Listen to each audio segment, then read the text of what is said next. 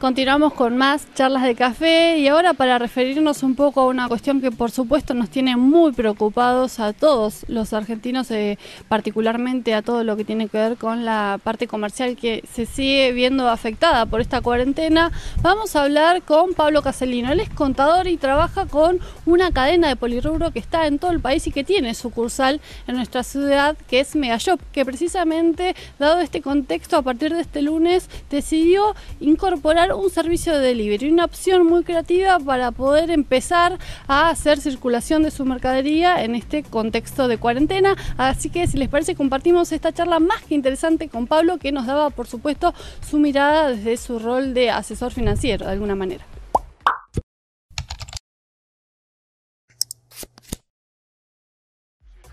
Pablo, bienvenido a Charlas de Café. Gracias por, hacerte unos minutos para poder bueno, dialogar con nosotros en medio de esto, hoy de cara a lo que tiene que ver con la extensión de, la cuarentena. Eh, contame cómo lo estás viviendo vos, ¿no? Desde tu rol de, bueno, de contador, de administrador, de asesor también de tantas, de tantos comerciantes en este momento que son uno de los rubros más afectados por este parate.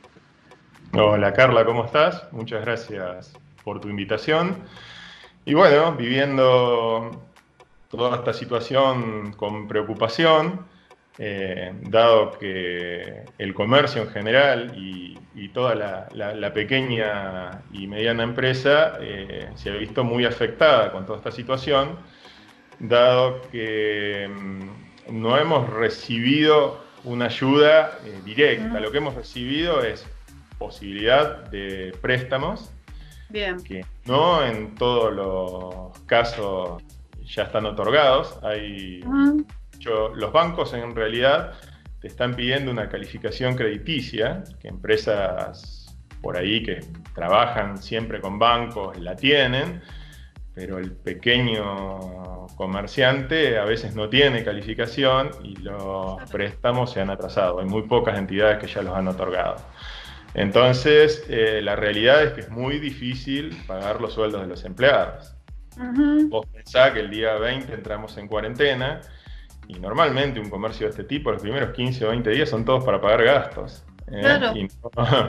Y, tenés que hacer frente a alquileres y a sueldos y realmente la situación se complica mucho. ¿sí?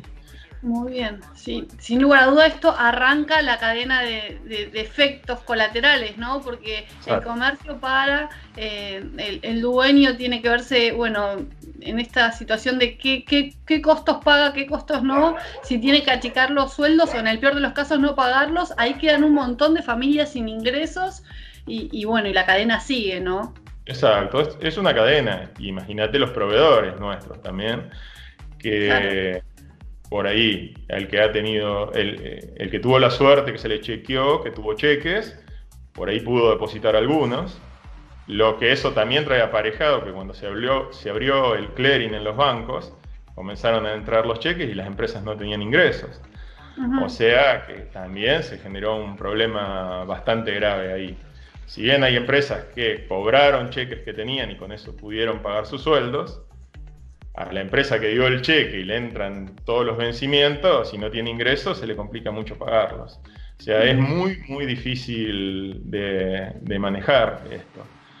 Pero bueno, es todo un problema, ya te digo. Los proveedores no cobran, no pueden pagar a las fábricas y nosotros no cobramos y no podemos pagar los sueldos y la ayuda del gobierno. Eh, hay un DNU que no, si nos anotamos que empezó esto, empezó el viernes en la página de AFIP, eh, recién a la tarde funcionó, que se pueden anotar las empresas de menos de 25 empleados y el gobierno, después de verificar alguna información que se suba a la página de AFIP, eh, nos va a otorgar un salario mínimo vital y móvil, que son alrededor de 16.800 pesos por cada empleado. Bien. va a pagar recién para el sueldo del mes de abril.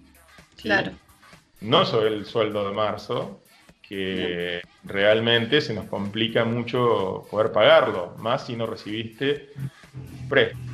Así que ese sistema también, empresas de más de, 25 a 60 empleados te dan un 75%, y después eh, un 50% a las empresas de hasta 100 empleados. De 100 empleados para arriba ya tienen que pedir un plan que se llama REPRO y que hay que cumplir ciertos requisitos con el ministerio para entrar.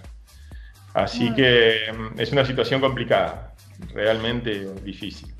Vos, eh, bueno, como, como, asesor, como contador de, esta cadena de polirrubro que, tiene eh, sucursales a lo largo y a lo ancho del país, eh, ¿nos puedes dar una referencia de cómo está repercutiendo esto en los diferentes sectores? ¿Tenés el número de cuántos empleados tiene esta sucursal? la sucursal, por ejemplo, la, de Tres Arroyos, en este momento tiene nueve empleados, de los cuales tres son media jornada y el resto son jornada completa.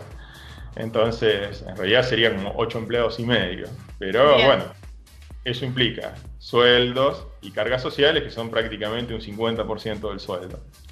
Y que de las del mes de marzo, que vence ahora en abril, no hemos tenido ningún tipo de, rebaja ni nada, solamente una postergación en el pago. Y vamos a tener, a partir del mes de abril, eh, tenemos opción de tener una reducción o postergación. Generalmente, también lo que, lo que hay que aclarar es que lo que se posterga o se reduce son las contribuciones patronales. Bien, que es no el, aporte que hace el empleador. Claro. Los, aportes, lo que se les cuenta al empleado en el sueldo, no se está reduciendo. Eh, y si bien es una obligación del empleador, vos cuando, cuando haces caja, en realidad contás el sueldo más lo que le descontás, como que lo tenés que pagar. Es dinero que tiene que salir de una caja que no recibe ingresos hace 20 días. Bien. o sea que esos ocho, empleados y medio han cobrado, digamos, ¿cuál fue el último sueldo que cobraron, digamos, el, de ah. febrero? Hasta por eso, ahora cobraron de marzo, han cobrado una parte, una parte. con, con, los créditos que entran esta semana que viene poder pagar el total. El problema sería, ¿qué vamos a hacer el mes que viene. Claro. Suponete que el gobierno nos pague ese salario mínimo vital y móvil, esos 16.800, faltan 20.000 más para cubrir un sueldo hoy de empleado de comercio. Entonces, tratamos de buscar alternativas. Vamos a empezar con, una venta por Facebook, por mercado mensaje directo, eh, por WhatsApp, eh, tratar de hacer un delivery. Ya por ahí la municipalidad nos ha autorizado porque nosotros estamos habilitados como venta de artículos de ferretería y de artículos de limpieza, así que probablemente podamos abrir un mostrador simplemente sin que la gente entre al local y vender algo de ese tipo de mercadería y por delivery el resto, tratando de que llamen por teléfono y hacer dos entregas en el día y si hay una persona que puede, que tiene autorización de salir y puede pasar a retirar el pedido que previamente nos hizo, puede hacerlo. Pero esa situación es muy complicada. Hay lugares que en todo el país que la cuarentena es muy fuerte, que no dejan salir a nadie. Eh, solamente para darte una pauta, nosotros somos 16 locales, desde Rafaela en Santa Fe, Villa María en Córdoba hasta Caleta Olivia. Y solamente han dejado abrir uno en la ciudad de Bragado, que no hay casos, el intendente lo, ha, lo, dejó abrir y hay dos o tres más que están empezando a actuar eh, con la venta por delivery y que realmente hay demanda. Eh, la gente quiere, la gente por ahí no ha salido, no ha comprado otra cosa y pide comprar esta mercadería. Pero bueno, hay que tratar de, de hacerlo en condiciones de seguridad para todos, ¿no? Por supuesto, aparte cuando ustedes lanzaron esta propuesta de delivery todavía no, no había sido detectado este primer caso de, coronavirus que lamentablemente ya tenemos en nuestro distrito, con lo cual me imagino que ahora, eh, bueno, las precauciones van a ser más, tanto del lado de ustedes como de las personas que se animen a salir de su casa, por supuesto, con barbijo, ¿no? Desde ya. ya ves mucha gente con barbijo en la calle que no se veía acá. Así que bueno, esa también es una, es una de las cosas que pudimos comprar para, tener disponible. Van a estar ofreciendo barbijos y los Vamos llevan a ofreciendo barbijos y guantes de látex. Muy eh, bien, muy bien porque tratar de ayudar un poco en, en, esta situación a la gente, ¿no? Muy bien. Pablo, saliendo un poco de lo que tiene que ver con subsistir estos días, porque me imagino que vos como contador ya estás mirando la situación que vendrá, ¿no? Que, ya todos sabemos que más allá de, que en el mejor de los casos esto pueda levantarse el, 26 de abril, eh, la situación va a quedar complicada en lo económico. Eh, ¿Ustedes están evaluando ya algún plan de emergencia que, por ejemplo, contemple reducir el personal, digo, de repente, o, alguna cuestión similar? Eh, mira, hoy, hoy por hoy es todo tan cambiante. Nosotros está prohibido cualquier tipo de despidos o suspensiones durante mm, el mes de marzo, abril. Seguramente, si la cuarentena se extiende, se extenderá esto a mayo inclusive. Eh, y la verdad es que no podés planificar demasiado porque no, no tenemos idea de cómo se va a reiniciar la actividad. En principio vamos a tratar de, sostener la situación y de esperar las ayudas de, parte del Estado, como para poder mantener. Yo supongo que, no van a querer que haya una situación de despido generalizada.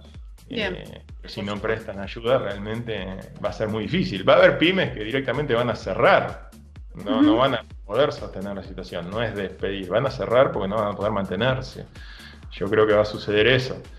Pero en principio quisiéramos tratar de, mantener a, la gente que trabaja con nosotros. Ustedes aparte, en lo que tiene que ver, va, la cadena, en lo que tiene que ver con la sucursal local, estaban en, el medio de un proyecto de traslado muy, muy importante. Eh, también hay que sumar este contexto en el que, bueno, se vio parada la obra, me imagino. Eh, ¿cómo, ¿Cómo se maneja esa situación? Digo, con proveedores, con cosas que habían comprado, que con mano de obra y demás.